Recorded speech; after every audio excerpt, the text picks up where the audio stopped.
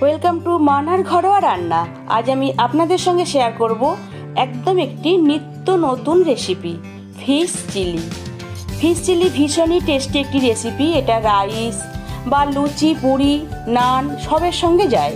আমি এখানে দেখুন দুটো পেটি এবং দুটো গাদা নিয়ে নিয়েছি। এখন এটাকে ছোট ছোট টুকরো করে নেব। ছোট ছোট টুকরো করে নিয়েছি।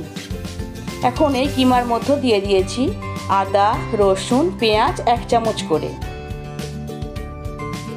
এবং আমি এর মধ্যে এখন সামান্য লবণ, গুঁড়ো লঙ্কা আর দিয়ে দিচ্ছি সরিষার তেল এক চামচ। এখন আমি মাছের কিমাটার সঙ্গে ভালো করে মিশিয়ে নিচ্ছি।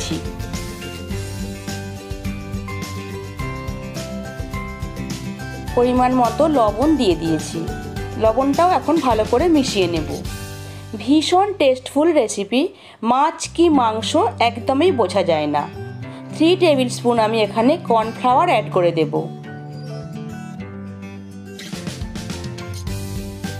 কর্নফ্লাওয়ারটাকেও খুব ভালো করে মাখিয়ে নিতে হবে।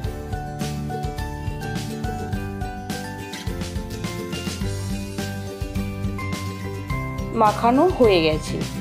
এবার আমি এখন এটাকে ঢেকে রেখে দেব কুড়ি মিনিট। কুড়ি মিনিট পর আমি একটা কড়া গরম করে তার মধ্যে কিছুটা তেল দিয়ে দেব। দিয়ে এখন মাছের কিমাগুলোকে খুব ভালো করে ভেজে নেব।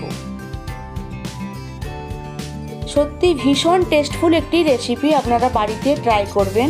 আর আমি যেমন করে করছি, ঠিক তেমন করেই করবেন। তার জন্য ভিডিওটি অবশ্যই শেষ পর্যন্ত দেখতে থাকুন। প্লিজ বন্ধু, আপনি যদি আমার চ্যানেলটি সাবস্ক্রাইব না করে থাকেন, সাবস্ক্রাইব করুন। আর পাশে থাকা বেল আইকন অবশ্যই প্রেস করবেন। এটা আমার অনুরোধ। দেখুন, খুব ভালো করে আমি এখন কিমাগুলোকে ভেজে নিয়েছি। এটা আপনার পছন্দের মাছ দিয়ে করতে পারেন। আমি এখানে গোটা গরম মশলা ফোড়নে দিয়ে দিয়েছি। এর মধ্যে আমি এখন দিয়ে দিচ্ছি পেঁয়াজ কুচি। দেখুন, পেঁয়াজটাকে আমি রিং রিংভাবে কেটে নিয়েছি। আর দিয়ে দিয়েছি লঙ্কা এবং টমাটো এবং দিয়ে দিয়েছি ক্যাপসিকাম। সমস্ত সবজি এখন আমি ভালো করে গোল্ডেন কালারের ফ্রাই করে নেব।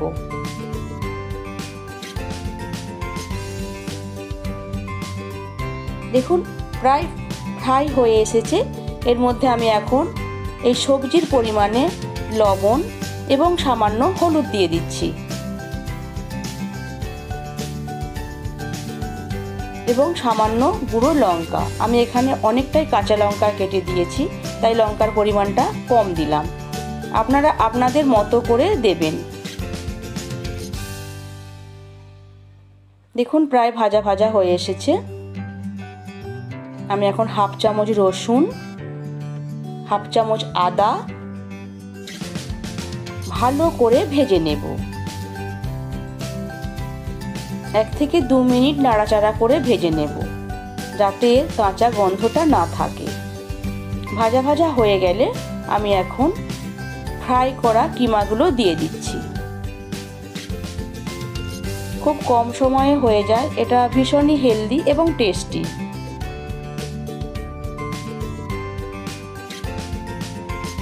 দেখুন, ভালো করে মিশিয়ে নিচ্ছি।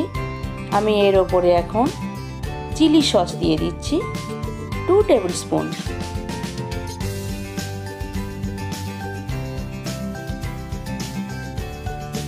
একটু নাড়াচাড়া করে নেব।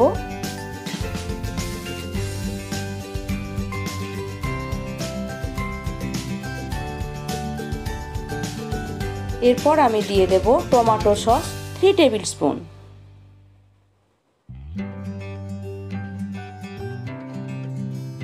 এটা আমার বাড়িতে যখন খাই, প্রথমে কেউ বুঝতে পারে না যে এটা মাছ না মাংস।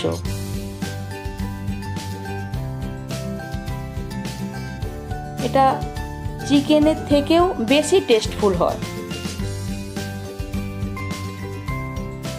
খুব ভালো করে মিশিয়ে নিতে হবে। সব শেষে আমি এখানে সোয়া সস দিয়ে দেব খুব সামান্য।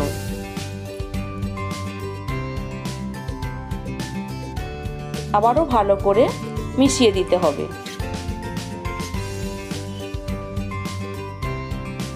বাড়িতে ট্রাই করার পর কেমন হলো কিন্তু আমাকে কমেন্ট করতে ভুলবেন না। সামান্য চিনি আমি এতে দিয়ে দিচ্ছি।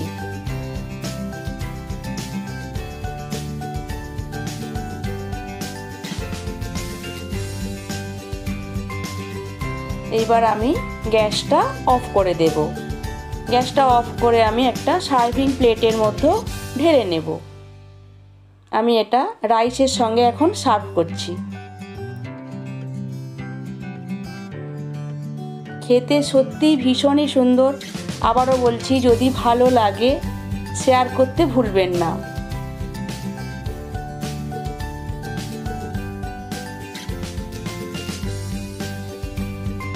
আজ এই পর্যন্ত আবার দেখা হবে অন্য এক রেসিপি নিয়ে। নমস্কার।